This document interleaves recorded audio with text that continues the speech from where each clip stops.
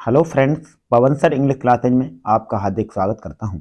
आज का हमारा टॉपिक है होमोफोन्स जिसको हम हिंदी में कहते हैं समानार्थक शब्द। अब बेटा जान लेते हैं समानार्थक शब्द होते क्या हैं। समानार्थक शब्द वो होते हैं जिनका उच्चारण एक सा हो, परंतु अर्थ अलग अलग हो, उसी को हम समानार्थक शब्द कहते हैं। सो देखेंगे इसका फ़र्स्ट वर्ड पहला शब्द है आपका स्क्रीन पर शाइट शाइट मान होता है बेटा उदाहरण। यूज़ देखेंगे, यूज़ का मतलब लेता है बात प्रयोग। He cited from the Ramayana he मान उसने साइटेड माने, उदाहरण दिया फ्रॉम माने से द रामायण रामायण से। उसने रामायण से उदाहरण दिया। सेकंड वर्ड है इसी का साइट साइट माने बेटा स्थान। इसका यूज़ देखेंगे।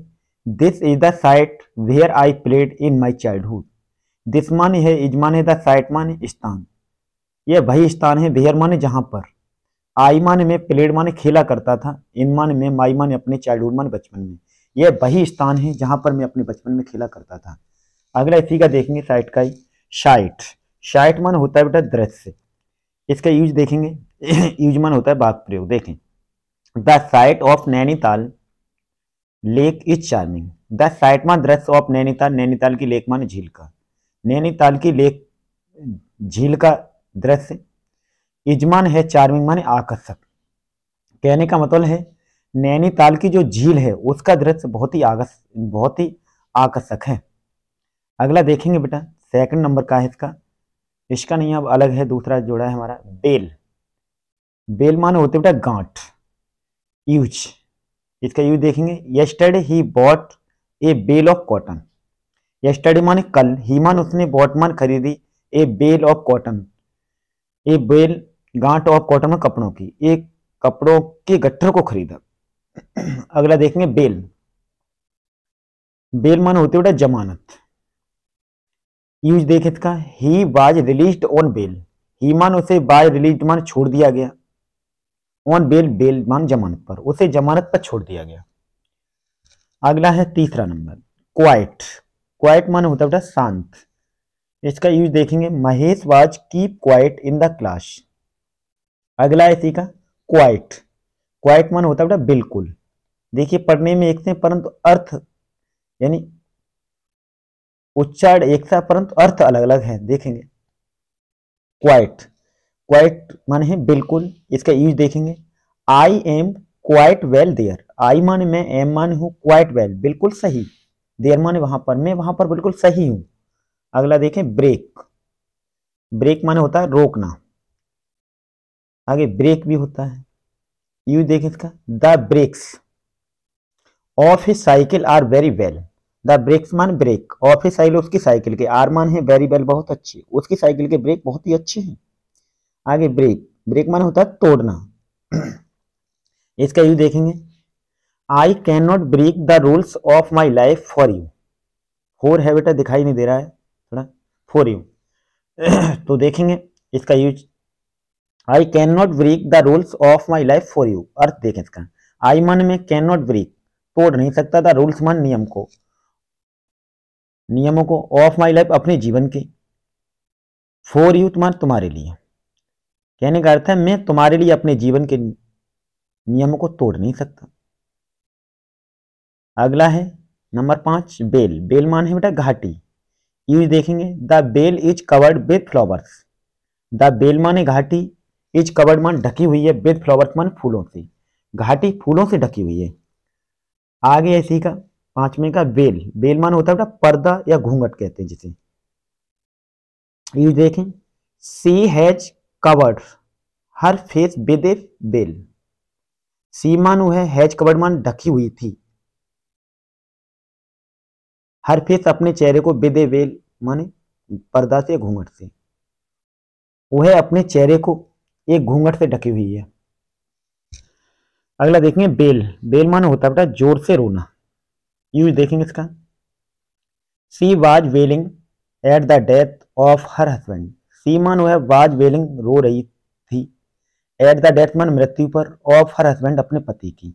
वह अपने पति की मृत्यु पर रो रही थी। आगे देखेंगे। अगला नंबर है बेटा आपका डोज। डोज मान होती है बेटा दवा की मात्रा। जिसका यूज़ देखें। A single dose of the medicine will cure you a single dose एक मात्र डोज ऑफ़ द मेडिसिन मान दवा की। बिल क्योर ठीक कर सकती है ह्यूमन तुम्हें। एक मात्र दवा की डोज ही आपको सही कर सकती है या कर देगी। आगे देखेंगे डोज। डोज मान होता है बेटा झपकी लेना। झपके मतलब ये उगते रहते हैं, उसे झपकी लेना कहते हैं। तो देखें यूज़ इसका। Rani dozed in the arm chair Rani Rani dozed माने झपकी लेती लेती थी इन द आर्म चेयर आरामदायक कुर्सी पर। रानी आरामदायक कुर्सी पर झपकी लेती है, या लेती थी। आगे देखें डाई। डाई मान होता है मरना। यू देख इसमें।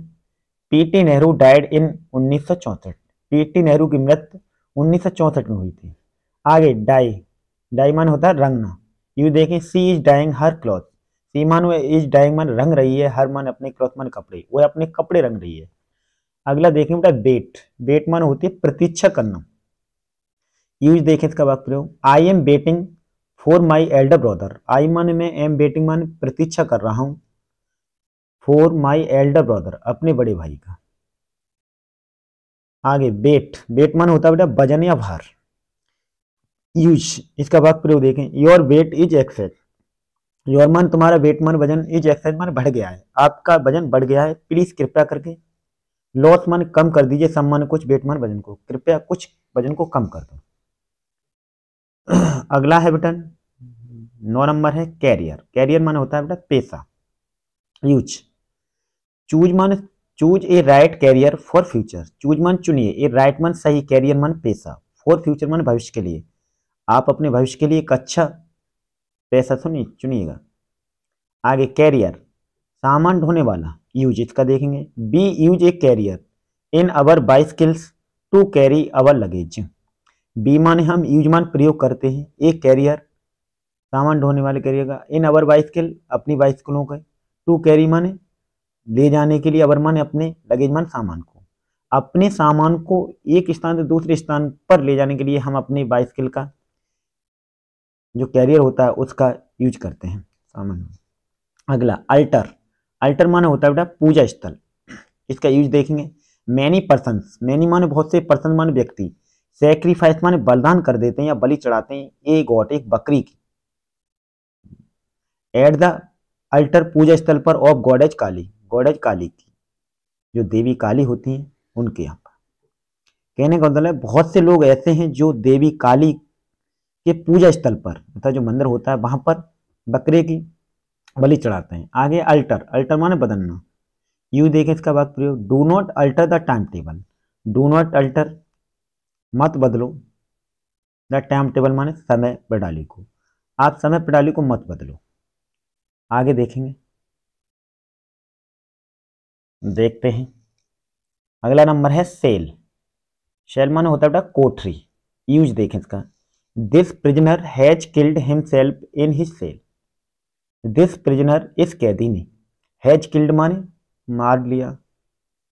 हिमसेल मान स्वयं को। इन हिज सेल अपनी कोठरी में इस कैदी ने अपने आप को अपनी कोठरी में मार लिया। सेल बेचना। बेचना का यूज़ देखेंगे। Mahesh will sell his car next year Mahesh will sell माने बेचेगा। हिज माने अपनी कार कार को नेक्स्ट ईयर माने अगली वर्ष महेश अपनी कार को अगली वर्ष बेचेगा। अगला नंबर देखेंगे बेटा फेयर फेयर माने होता है बेटा मेला। इसका यूज़ देखें बात प्रयोग the children are going to the fair. The children माने बच्चे आर गोइंग माने जा रहे हैं टू मान द फेयर मेले में। बच्चे मेले में जा रहे हैं। आगे बेटा फेयर। फेयर माने होता है बेटा किराया। यूज़ देखें यूज़ है बेटा we must pay. The fare. We माने हमें मस्ट माने चाहिए। पे माने अदा करना, द फेयर माने किराया। हमें किराया अदा करना चाहिए। इफ़ वी ट्रेवल इफ़ माने यदि बी माने हम ट्रेवल माने यात्रा करते हैं। यदि हम कहीं पर यात्रा करते हैं और किसी वाहन से जाते हैं तो हमें उसका किराया अवश्य अदा करना चाहिए। अगला देखेंगे, तेरह नंबर है बेटा। पील। पील माने होता है बेटा, घंटियों का बजना। इसका यूज़ देखेंगे, the church bells.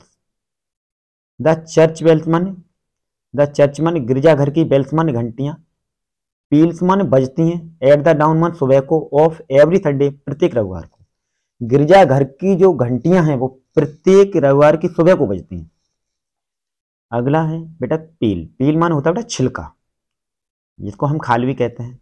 तो यूज़ देखेंगे इसका। Lemon has thick peel of yellow colour. Lemon मान नींबू। हैज़ मान रखता है थिक। मोटा पील मान छिलका ऑफ़ येलो कलर, पीले रंग का। जो नींबू होता है वो पीले रंग का मोटा छिलका रखता है। या नींबू का पीले रंग का मोटा छिलका होता है। अगला देखेंगे। अगला नंबर है बेटा चौदहवा गेट गेट मान होता है बेटा फाटक। जैसे हम दरवाज़ा भी कहते हैं। यू देखें। Your friend is at the gate your friend तुम्हारा मित्र इजमान है। एट मन पर द गेट मान दरवाजे पर। आपका मित्र फाटक पर है या दरवाजे पर है? गेट मान चाल।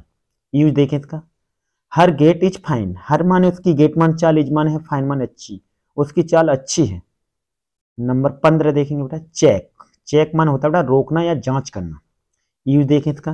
The teacher checked his answer sheet the teacher माने अध्यापक ने चेकड माने जाँच की। हिज मान उसकी आंसर सीट माने आंसर सीट अध्यापक ने उसकी आंसर सीट को चेक किया। चेक एक होता है बेटा चेक जो बैंक में होता है। इसका यू देखें I have cashed the cheque I माने मेरे पास है मान है। कैश्ड चेक मेरे पास नगद चेक है।